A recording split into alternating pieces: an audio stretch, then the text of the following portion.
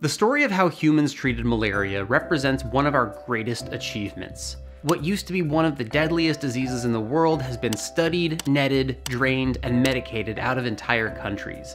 Even in the last 20 years, we've cut the number of malaria cases in half and reduce the disease's death rate among children. The disease is still a big deal though, with hundreds of thousands of cases around the world, most of which are children in sub-Saharan Africa.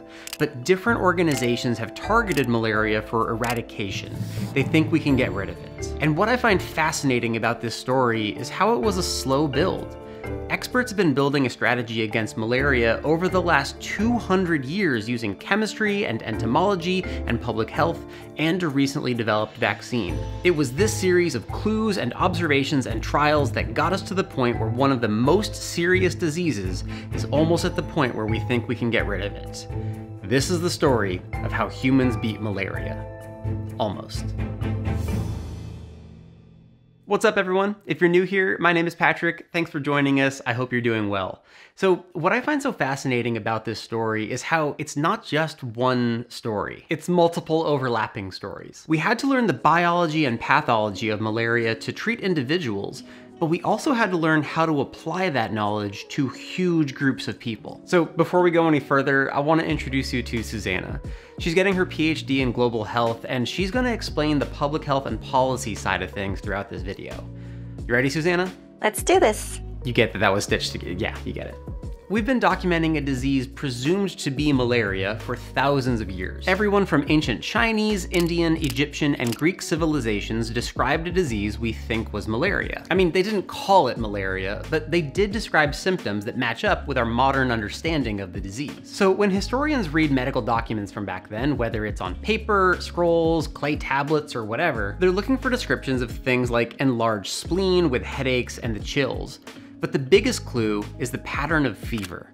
One of the classic symptoms of malaria is a fever that shows up every third day or every fourth day. And then there's where they found the reported cases stagnant water. In fact, the modern name malaria translates to bad air, like the thick, humid air around the swamps that provided the breeding ground for the disease. And all of these groups had their own treatments for it, but the story of the modern treatment of malaria usually starts with the Columbian Exchange. Columbian Exchange is the widespread exchange of plants, animals, and diseases between the eastern and western hemispheres from around the 1400s to the 1500s. Now, with European expansion and colonization, they brought over diseases like tuberculosis and smallpox to indigenous lands. This contributed to the severe reduction of the Native American population. But Let's not forget that Native Americans are still here and they are experts in our planet, and we have so much to learn from them. In tropical regions, Europeans were exposed to diseases like malaria. This is a primary reason why they would stay along the coast of Africa rather than moving inward. When they did try to move inward, a large number of them would die. In the first year of settlement along the Gold Coast of West Africa in the early 1800s, they found that out of a thousand Europeans, 300 to 700 of them would die. This is how the Gold Coast of West Africa got the name white man's grave. So the Europeans wanted a malaria treatment. Fast forward to the 1600s when Spanish missionaries came to South America. Indigenous people showed the missionaries this tree, what Carl Linnaeus would later call the cinchona tree. There are a few origin stories for how cinchona was first used in medicine. One says that a sick man was cured by drinking water that had been contaminated by the tree. Another said that a princess's illness was cured by eating the bark from the tree. So with this reputation for curing headaches and fevers, cinchona was brought back to Spain. But you wouldn't just gnaw on a piece of bark. If you wanted to take it as medicine, usually you'd dry the bark, grind it into a powder, then mix it in some wine and take a swig. That cinchona bark was effective because it had a compound in it called quinine. Quinine if you pronounce it the UK way. So in 1820, a couple of chemists crushed up some of the bark and isolated quinine itself, and that was a big deal. In this case, quinine is what's called the active ingredient, the thing in a medicine that has a biological effect on the body. Right, this bark is still just a chunk off of a tree. Obviously, there are multiple chemicals that make it up. And when it comes to designing a malaria treatment, we only cared about quinine since that was the compound that had the anti-malarial effect. By isolating the active ingredient, we could do some of the first clinical drug trials in history. And these trials ask two questions. First, is it safe? And second, what's the best dosage between too much and too little? Once they found out that quinine was an effective treatment, Europeans raced to extract cinchona bark from indigenous lands and use this new treatment to move inwards into Africa. For perspective, let's go back to 1841, when Europeans went on a missionary expedition up the Niger River. On this expedition, there were 150 Europeans and 150 Africans. Of those 150 Europeans, 42 of them died. Of the 150 Africans, none of them died. Europeans saw that they were more vulnerable to tropical diseases than Africans, and they actually used this as a justification for why Africans were more fit to do labor and actually used this to justify the transatlantic slave trade. A few years later, in 1854, Europeans made another expedition up the Niger River, but this time they had quinine. Quinine was so effective in treating fevers that historians believe it contributed to the great reduction in European deaths. For example, in French Senegal, the French military's death rate dropped by 66% between 1819 and 1851. Now, all this time, we're studying the effects of cinchona bark and quinine, yet we don't really have an idea of where the disease comes from or how it even starts. But at this point in the story, we're starting to transition from miasma theory to germ theory. And I know I mention germ theory all the time, but that's because it was such a big deal in managing infectious diseases like malaria. There were four main ideas in germ theory one of which said that we had to find the germ that causes disease, isolate it, and grow it in the lab so that we can use it in experiments. So how did we find the germ that causes malaria? This military doctor, Alphonse Laveran, was stationed out in Algeria. He studied bodies that had died from malaria. He would look at blood samples under a microscope and notice these dark pigments on red blood cells and wiggly tails, or flagella. That gave him the idea that he was looking for a parasite, and as he analyzed the blood, he kept finding the same parasite. His discovery took a little while to gain steam, but by 1884, the scientific community was on board with the idea that malaria was caused by this little parasite. Well, sort of. It's not just that one parasite, and scientists would later find out that there wasn't just one version of malaria either. In the 1890s, scientists had described two forms of malaria one with a three day pattern of fever, one with a four day pattern of fever. They thought that two different parasites caused the two patterns of fever. And they were right. It's not just one species of parasite that causes malaria. It's five species from the genus Plasmodium. They were able to use this to come up with an improved dosage timing for quinine, but also to learn more about the parasite's life cycle. When an infected mosquito bites you, it injects a form of the parasite called a sporozoite, which heads to the liver. They reproduce and turn into their next form, merozoites. It's this form that invades our red blood cells. Then they multiply again, burst out, invade more red blood cells, and repeat. That's what causes disease. These parasites and red blood cells. Some of those merozoites turn into gametocytes and circulate in the blood eventually to be taken up by a mosquito where they mature and produce a little offspring that becomes a new sporozoite. Those offspring migrate to the mosquito's salivary gland where they can be passed on to humans the next time the mosquito feeds. We know the whole life cycle today, but back in the late 1800s, they only knew this part. They suspected that mosquitoes were involved, but they hadn't shown it yet. This concept of vector-borne diseases, or diseases carried by one organism and given to another, was brand new for the time. A British military officer and a group of Italians proved that mosquitoes could transmit the bird version of malaria, and soon afterwards found the human version but it had to be the right kind of mosquito, specifically a female Anopheles mosquito.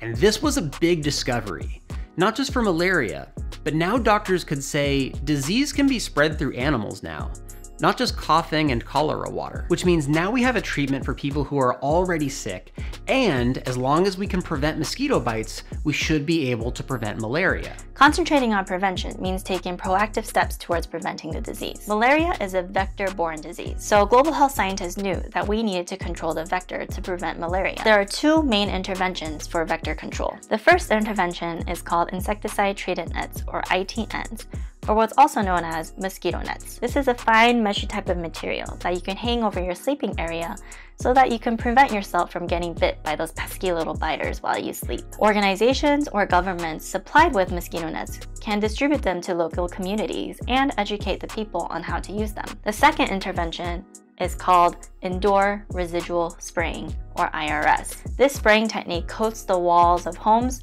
with an insecticide that kills the mosquito once they have fed on it from landing on the wall. There are a bunch of different types of insecticides that can be used, but unfortunately, some mosquitoes have grown resistant to some of them. There are also behavioral changes that people can do to reduce their risk of getting bit by a mosquito. Mosquitoes are pretty active during dawn and dusk, and so having people stay indoors during those times can reduce their risk of getting malaria. People also may have watering cans or buckets of water sitting outside their home. Mosquitoes love standing water, and so providing these folks with lids to put over their watering cans or buckets of water can really help reduce the risk of mosquitoes from making babies. But to use these strategies, it comes with certain privileges.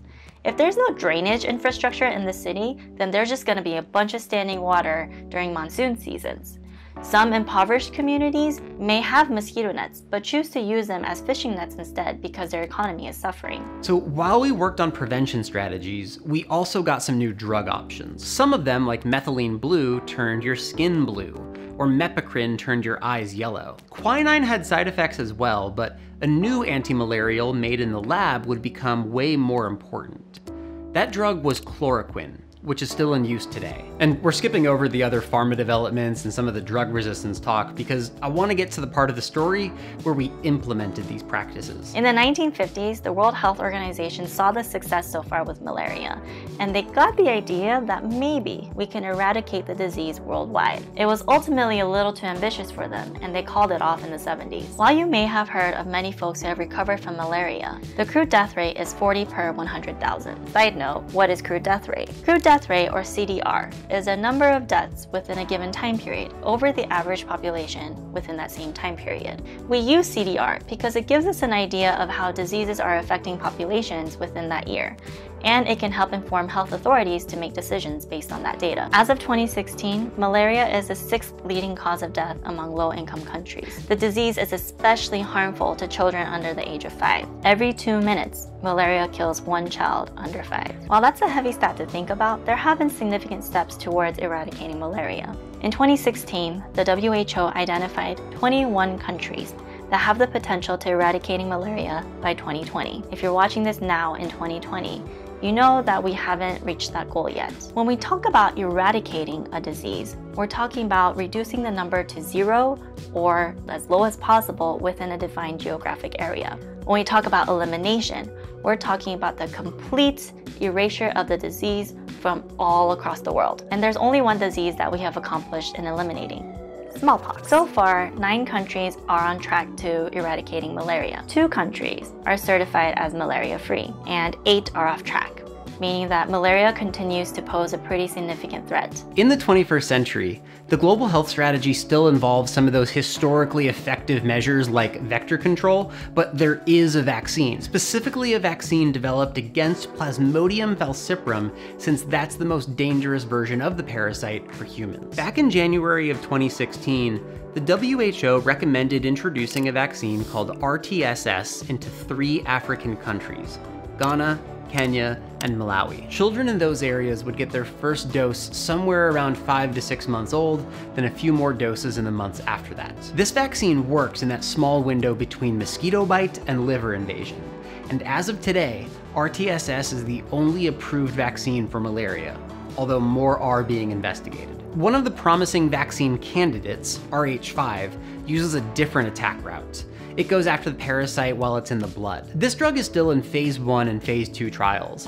And like I said before, RTSS is the only vaccine, as of today, that's been approved for malaria. And this vaccine is in addition to all the other things we can throw at malaria, from medications like chloroquine to strategies like mosquito nets and draining standing water, and all the other prevention strategies. The point of telling you this story was to highlight that there was no single eureka moment. It was a congregation of all these little strategies that have added up to such monumental progress. If you like these kind of big picture global health topics, I'm gonna recommend Susanna's podcast, Global Caveat, where she and Diana Klatt talk about different topics within global health. They have all kinds of interesting guests on. Highly recommend it. Check out these two right here. Otherwise, if you like more medical history stuff, you can check out this playlist right here. Subscribe right here. Of course, always, thank you for watching. Have fun, be good, wash your hands.